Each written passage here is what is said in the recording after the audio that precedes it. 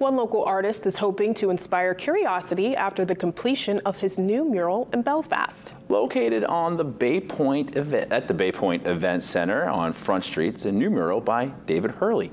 He began planning it back in February. It Took him most of the summer to paint it. It depicts an 18-foot sturgeon alongside different sea creatures.